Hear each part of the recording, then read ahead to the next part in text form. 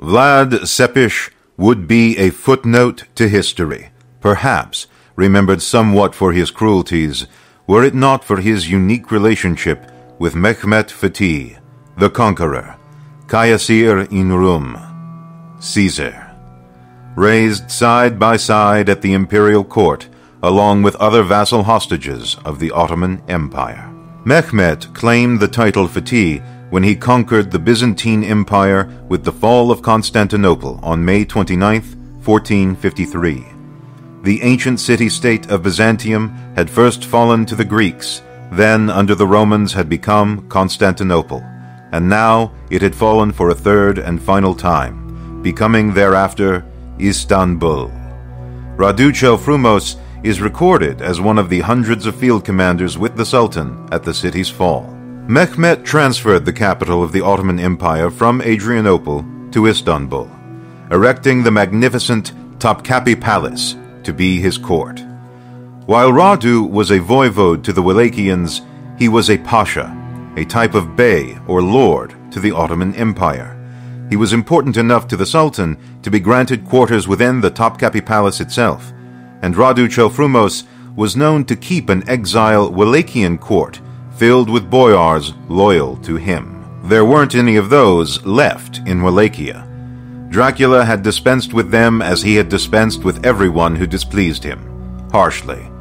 While Dracula had ties of faith, marriage, and treaty with Hungary, he was nominally still a subject to the Ottoman Empire but since retaking his throne, he had refused his tithe. By law, Vlad Dracula was bound to produce gold and 500 boys to be sent to the Ottoman elite Janissary Corps for training. At first, Dracula begged the Sultan's pardon, arguing that he was simply too impoverished by war to make payment, and in Dracula's defense, flimsy though it may be, Vlad Dracula was always fighting someone. Retaking his throne and slaying his family's usurpers was hardly enough for Prince Vlad.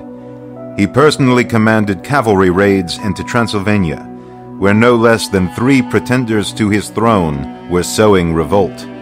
The least of these was Basarab Laiota, seemingly a royal bastard of the Daneshti clan. His legitimate little brother, Dan III, last true-born son of Dan the Great, had considerably more support. Vlad Kalugarul, Dracula's own bastard half-brother, had the support of the wealthy Catholic Saxons and Szeklers. The Impaler never met the monk in battle, but he did kill most of his followers, effectively ending his claim to the throne, at least for the moment. Lyota too yielded his claim, and his soldiers, to Dan III, without much of a fight, in exchange for money.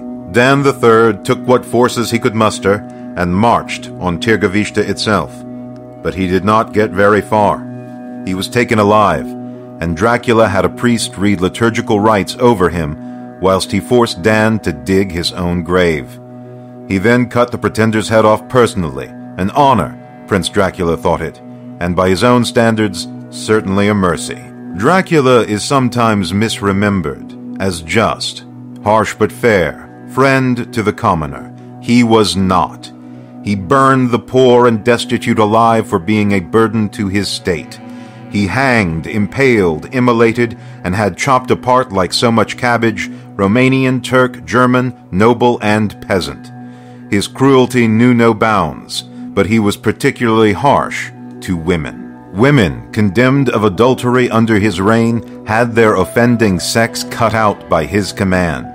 Lesser offenders, such as unchaste widows, might be granted the mercy of losing but a nipple or a nose.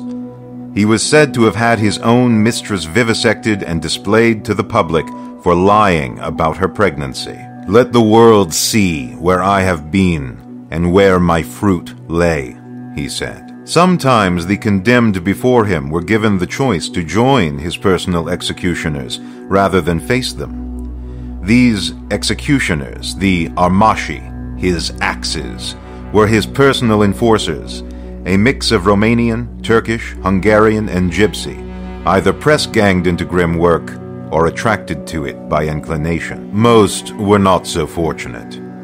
One gypsy man objected to impalement as against his cultural law, so Dracula had him boiled in a giant kettle and fed to his family.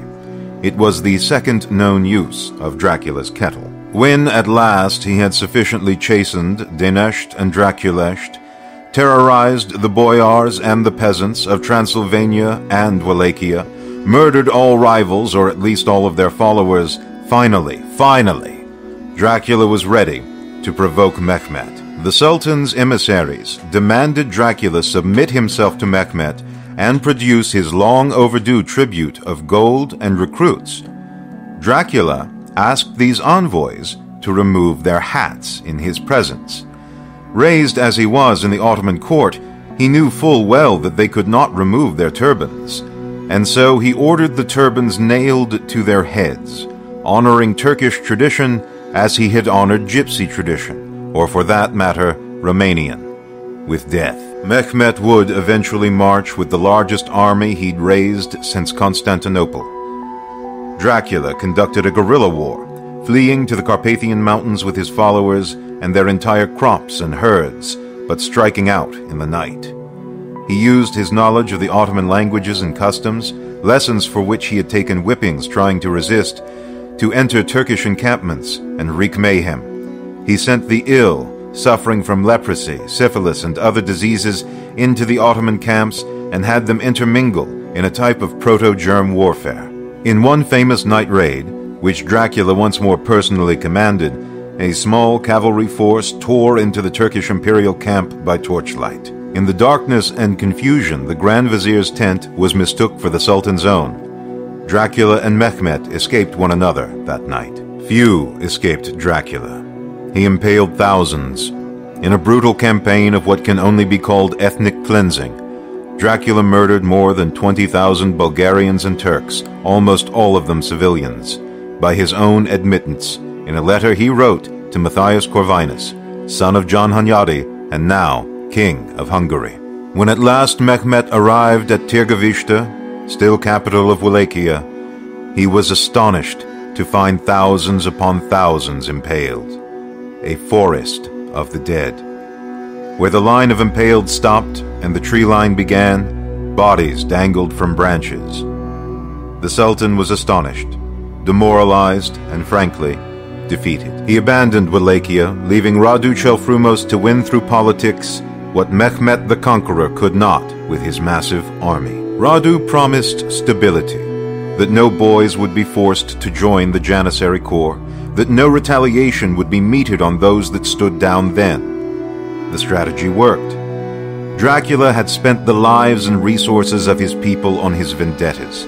He had alienated the old families, embarrassed Hungary with his atrocities, and enraged the Ottoman Empire, all whilst meting out justice even Dracul would have thought draconian. As Radu's troops moved in on Castle Dracula, legend says that Dracula's beloved, learning of the Turkish approach, threw herself from the balcony into the stream of the Argesh below, now known as the Raoul Domne, the Princess's River. Dracula escaped Radu's new order, but Hungary quietly put him away for many years. Dracula remarried during this exile, this time to Justina, the king's aunt. The boyars connived as they were wont to do before and after Dracula. Radu was usurped by his Denesht rival Lyota, and then he usurped Lyota, and so on for several turns. Lyota had Hungarian support, and Radu, of course, had Ottoman. But combat was minimal, and war was avoided, until Radu died of syphilis.